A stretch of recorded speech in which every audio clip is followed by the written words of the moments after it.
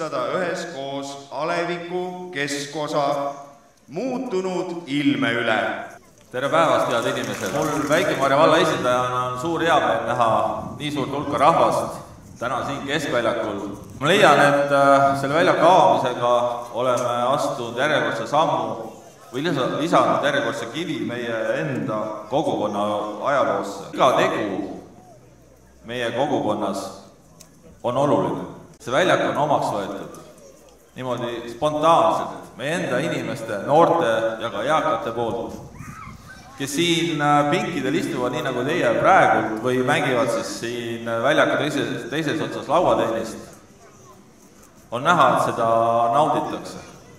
aitäh kõigile meeldivat tänast väljaku avamist ja jõudu, et selliseid tegevusi jätkuks siin aastasadu. aitäh!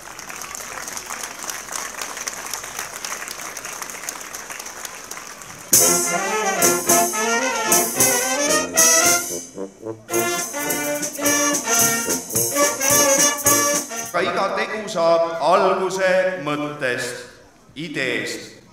tuleb astuda esimene samm ning kõigepealt palume siia just mõtte ja idee algatajad. kutsume siia Luurichi halduskogu liikmed Raul Rebane, Olev Liblikmann, Hans Kruusamägi, Aavo Part, Sven Kessler ja Ilve Dobreluts. teeme neile veel ühe suure aplausi.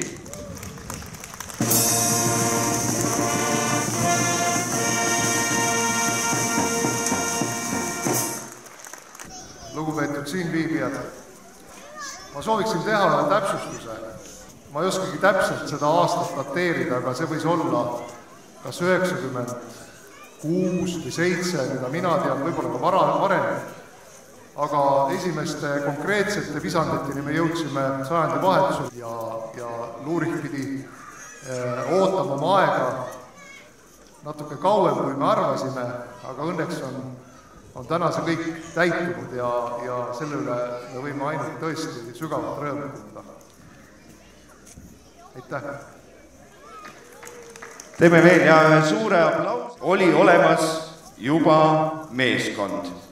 oli tahe ja mõte püstitada Luurichile väärt monument koos väärika ümbrusega.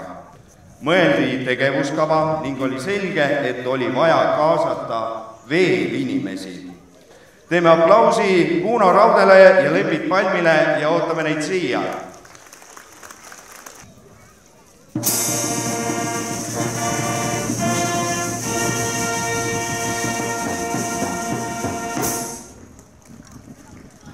kallis Allar rahvas, minu kokkupuude täna siin toimuvaga algas kahe tuhande üheksa, üheteistkümnenda aasta lõpus.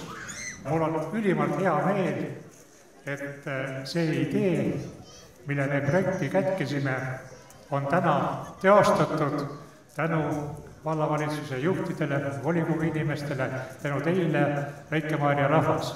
palju tänu teile kõige selle eest, aitäh! Ja mis te arvate, mis on nüüd vaja edasi teha, kas kohe saab kopa maasse lüüa? ei saa veel. kõigepealt tuleb eskiiside alusel projekteerida. palume siia idee teostamiseks appi tulnud projekteerijad, osaühing Tinter Projekt ja osaühing Projekteerimiskeskuse esindajad.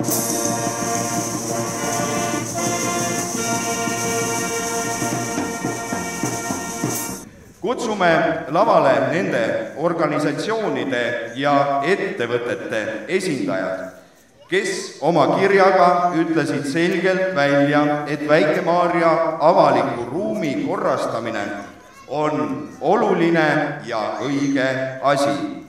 palume siia esindajad Järva Tarbijate Ühistu, osaühing Joosant, Uue Toa talu, VH Vett, Sisekaitseakadeemia päästekooli esindaja, osa OG Elektra esindaja, Rein Paul osaühing esindaja, Elna Lumiste FIE ja mittetulundusühing Kotli Maja esindaja. kõik, kes te olete siin olemas, keda me kutsusime, olge head, tulge ka ja näidake ennast kõigile.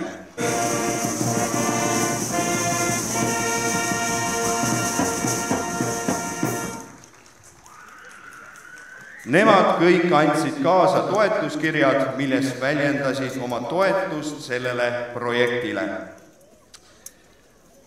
aga enne, kui me neile üle anname veel lilled ja Luuri Jüri rammupätsid, siis sobib siia lisada, et mittetulundusühing Kotli Maja esindaja on väga mitmekülgne inimene just tema ettevõtte Kaarli talu valmistas need tänased auhinnad. tema talul kukkusid need nii hästi välja, et sellel esmaspäeval saime kõik teada, et Luuri Jüri rammupäts on tunnistatud Eesti talutoidu parimaks pagaritooteks kaks tuhat kaheksateist.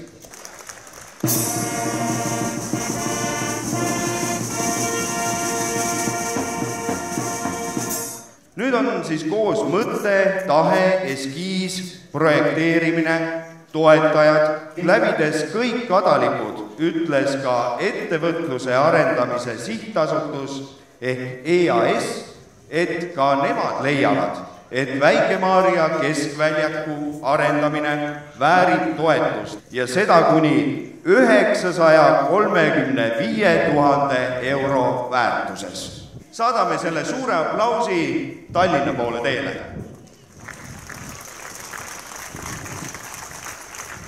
kuid kui nüüd on raha olemas, kas nüüd saab lüüa kopa maasse? just, kuid kes seda teeb? avaliku hanke parimaks pakkujaks osutus Lemmikkäinen Eesti AS. palume lavale Üit Eesti aktsiaseltsi esindaja ja Sweco projekt ehk ehitusjärelevalve teostaja.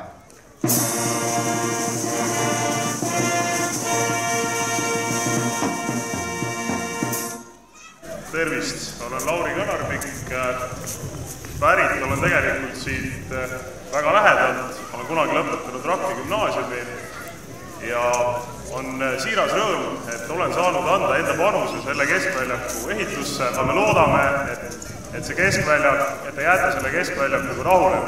Eh, valla esindajatele on meil üle anda eh, kaks sellist lauatennise reketi komplekti koos pallidega, kuna ühe selle keskväljaku ehituse osa oli ka selle betoonist pingsilaua paigaldamine sinna kutsekooli, kutsekooli juurde. muidugi lisaks eh, lisaks sooviksin tänada ka omalt poolt projekteerijaid, omaniku järelevalvet ja kõiki meie alluvõtjaid ja koostööpartnereid, tänu kellele see keskväljak valmis, ilmselt üheks suurimaks nendest oli siis meie vee- ja kanalisatsioonivõrkude rajaja Antares aktsiaselts ja, ja siin oli ka teisi väiksemaid, et suur aitäh ka neile, ilma teieta ei oleks see projekt valmis saanud, aitäh!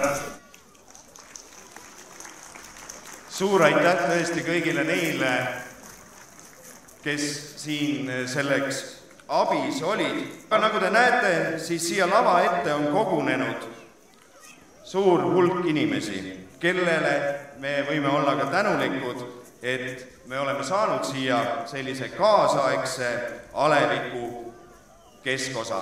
teeme neile üheskoos ühe suure aplausi kõigile. ka nüüd kutsun ma siia Eesti Evangeelse Luterliku Kiriku Viru praostkonna praosti Tauno Toompuu, et aleviku keskosa sisse õnnistada. head väikemaarjalased, head külalised, kultuuri- ja kehakultuuri sõbrad, palju õnne teile tänase tarkuse päeva puhul, uute alguste päeva puhul, Luurichi päeva puhul.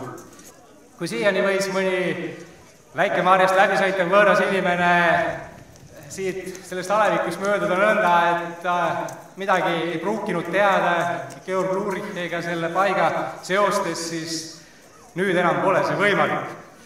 siia jõudes igaüks on kutsutud peatuma ja kaasa võtma see teadmine, Väike-Maarja ja Georg Luuri on omavahel seotud ja me palvetame. me täname sind Georg Luurichi mälestuse eest ja nende väärtuste eest, mida ta ise järgides võis elada ilusat ja tõelist elu ja õnnista meile seda Väike-Maarja uuenenud keskosa ja anna, et me kasutaksime seda tänu meeles.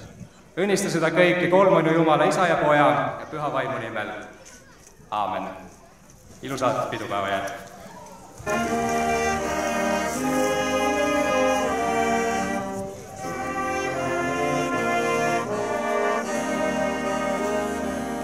teeme kummardusega Georg Lurichile.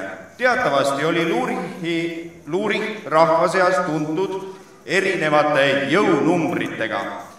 Nii et kõik, kes tahavad oma jõudu näidata, et ka nemad on tõelised Lurichid, siis see võimalus on teil kohe siin minust paremal pool olemas seal on kohtunikud, kes võtavad aega, teie saate oma nime sinna kirja panna, aga samal ajal kutsume suure aplausiga siia lavale Lenna.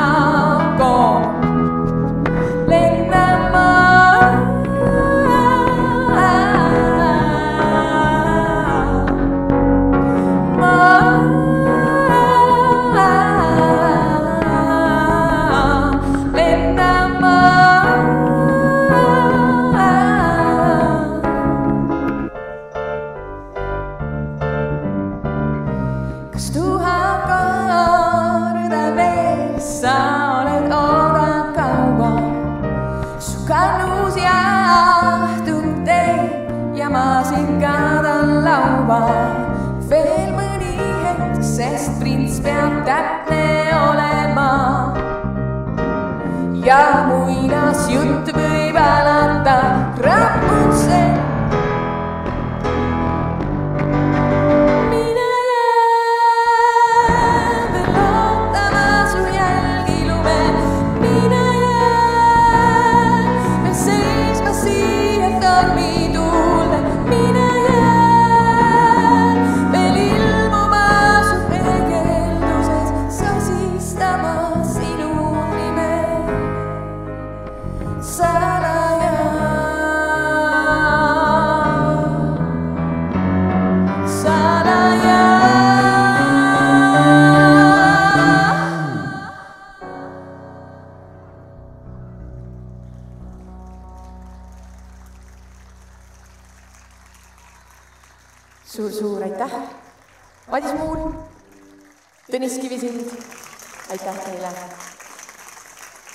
suur aitäh Lennale selle ilusa kontserdi eest, aga nüüd on meil oluline see, et üle anda eh, tänased eh, näpu, mitte siis näpu, vaid käe, ühe käega rippumise eh, võitjad.